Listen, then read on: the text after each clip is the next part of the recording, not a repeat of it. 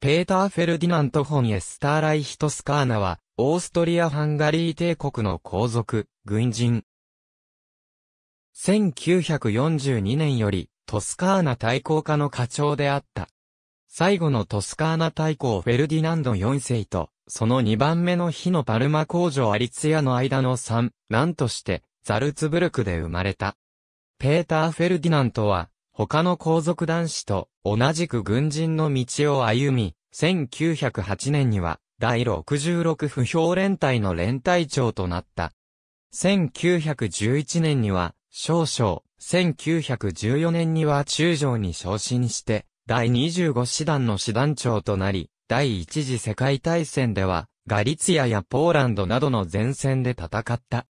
しかし、翌1915年、ペーター・フェルディナントは、師団長の地位を解任され、代わって、モーリッツ・フォン・アウフェンベルクが師団長の地位に就いた。退任後のペーター・フェルディナントは1915年のコマルフの戦いで、ロシア第5軍による包囲を阻止する作戦に従事している。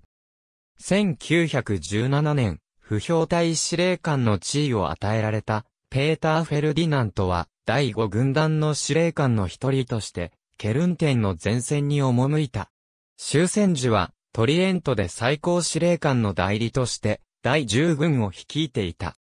芸術的才能の豊かだった太閤は、第一次大戦後は、スイスのルツェルンで、亡命生活を送り、1935年になって、オーストリアに帰国することができた。